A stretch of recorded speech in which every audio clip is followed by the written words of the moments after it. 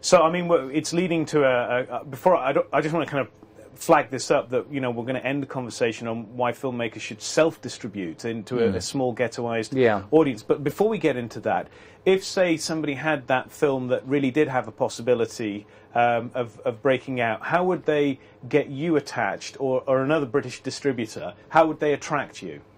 Uh, the best thing, a, a very good example, is uh, London to Brighton, which um, I knew about before it was made because they came on a, uh, an event I run every year at Edinburgh called Meet the Experts, and the producer came and pitched it not very well. Uh, and I didn't think it, it would work. And then they made it, and it was such, there was a buzz about it, and it was a kind of gangster film. And at that time, gangster films were kind of dead in the water. I mean, I'd released a few, and you know, the critics said, for God's sake, not another gangster film, please, nobody make any for- more. And essentially, that's what London to Brighton was. But it was done in such a way that it got people talking about it. It was an unusual story within that, an unusual way of telling it. So they'd got the buzz. So by the time I'd seen it, I knew three other distributors were interested. And at that stage, there were seven distributors all wanting the film. So Right. that's the ideal position that uh, everybody's you know bidding for it. Right, and what is the process that would happen in terms of literally ABC in order to go through a deal? Um, In, in, in brief. in what respect? Well, The- the, you, you'd see the film, there'd be an offer made. Yes, there's an offer and made. Uh, uh, uh, Contracts and. the ideal thing is, uh, you know, I would offer ten thousand pounds advance against UK based on a, a, a number of different permutations. Somebody else would say, I like this, I'm offering twenty five thousand. And they would offer maybe better terms. Then somebody else would come in with a greater offer. Often the money up front is not particularly uh, it depends. It's not. It can be more attractive. For instance, on a number of films that I've done, I've taken no fee at all for releasing it in the cinema, and I used to be the only person giving a 50-50 deal on DVD, uh, which I know since a number of other distributors have uh, offered that. The, the old terms used to be you got 10, 12 and a half, maybe 15% of the net wholesale price of that DVD.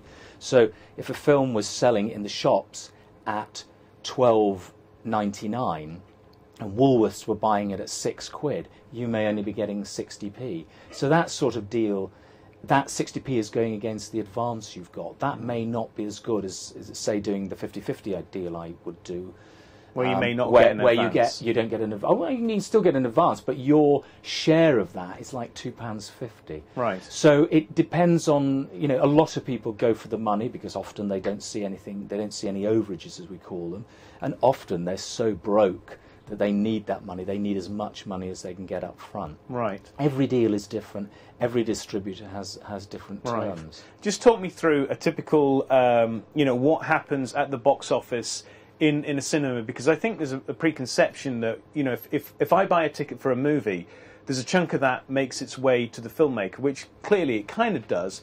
But, but what is broadly the, the percentage breakdowns? Because I found Okay. that quite surprising. The, you, the, one pound is, is taken at the cinema for you to see that film. Seventeen and a half percent. This is in the UK. Every country varies, but in the United Kingdom, seventeen and a half percent goes in VAT to the government to pay for all these banks we've bought.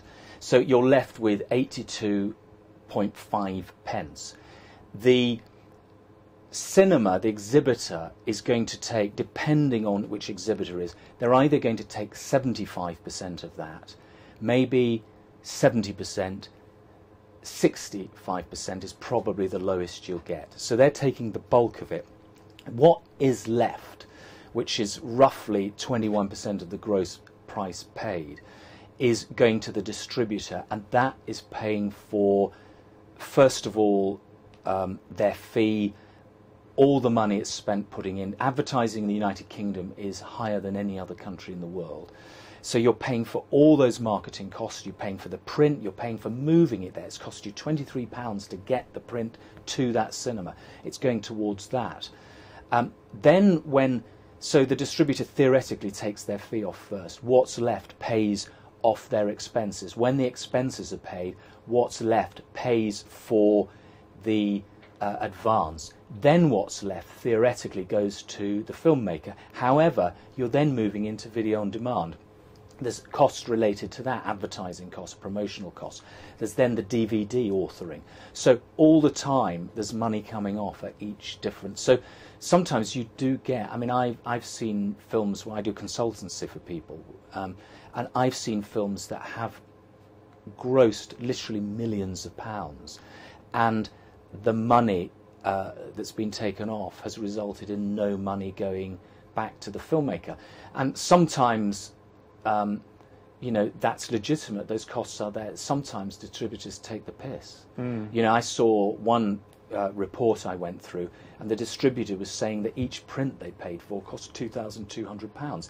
Now, I'm getting my prints at £550. This was a major studio.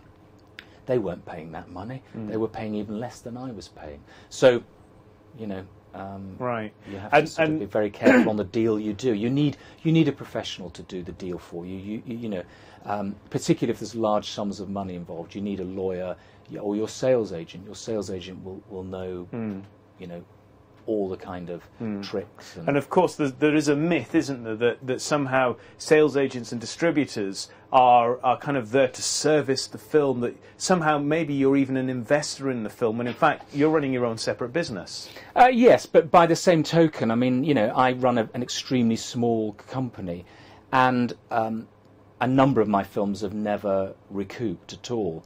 Um, but when they do recoup, I'm very keen to pay very quickly, and people, yeah. you know, I have to ring them up saying, "Please put me an invoice in," yeah. because you know, all, all distributors, all need, sales agents need reputations, and you can always ask ten people they've worked with, and you'll get an idea of how good they are at paying, how prompt they are at paying, how effective they are. Right. So yes, I mean we are running you know separate businesses, uh, and everybody does that, whether it's a, a camera hire company. Yeah. Um, but we're, we're, all ultimately going for the same goal, and that is to make success, financially successful films. Right.